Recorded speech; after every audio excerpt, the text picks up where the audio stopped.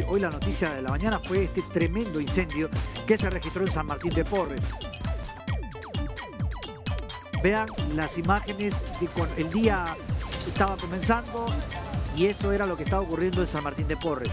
10 unidades de los bomberos tuvieron que trabajar denodadamente para poder controlar una falta de hidrantes en la zona. Fíjense lo importante que es construir, poner hidrantes cuando se construye urbanizaciones.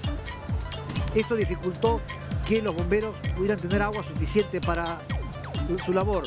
La emergencia, pese a todo, pudo ser controlada y las llamas fueron confinadas.